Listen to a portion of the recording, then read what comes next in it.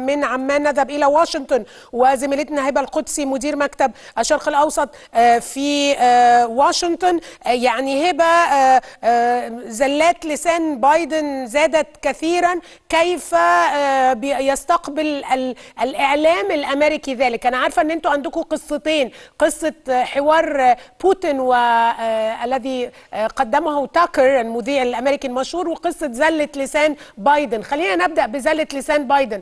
كيف استقبل الإعلام الأمريكي ذلك؟ ما قاله عن الرئيس السيسي. أنه رئيس المكسيك وقص وما قاله عن معبر رفح أهلا بك يا أستاذة لميس وبالفعل يعني القصص المتعلقة بزلات لسان الرئيس الأمريكي خاصة في المؤتمر الصحفي اللي عقده آه، مساء يوم الخميس ردا على تقرير المحقق الخاص روبرت هور بانه آه، لم آه، لم يتم توجيه اتهامات جنائية لبايدن في احتفاظه بوثائق آه، سرية في منزله وفي بيته اعتمادا على جملة هي التي أثارت غضب بايدن بشكل كبير لأنه قال لا يمكن آه، أو أو أعفى بايدن من مواجهة اتهامات جنائية بسبب كبر سنه وضعف ذاكرته.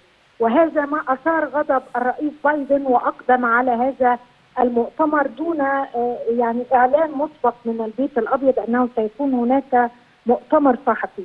وحينما عقد هذا المؤتمر بدا غاضبا للغاية من اتهامه بضعف ذاكرته ووسط الأسئلة المتلاحقة من الصحفيين بدا غاضبا وأخطأ في زله لسان جديدة واصفا منصب الرئيس المصري بأنه الرئيس المكسيكي. وهذا بالطبع اثار يعني انتقادات واسعة أكثر من أو يعني تزايدت بشكل كبير عن الزلات آه، السابقة.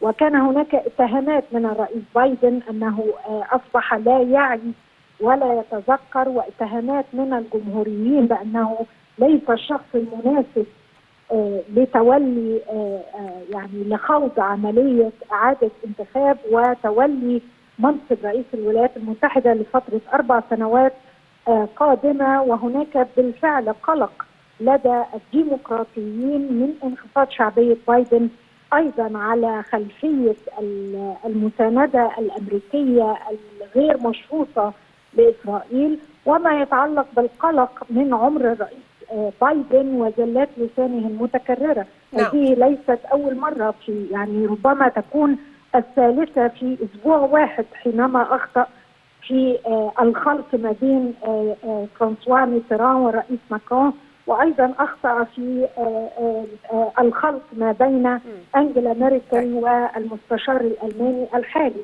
وبالتالي هذه كلها تزيد من مخاطر إعادة انتخاب بايدن بشكل كبير وإضافة إلى يعني ال ال الاستياء من هذا من هذه المسانده الأمريكية نعم. المتزايدة لاسرائيل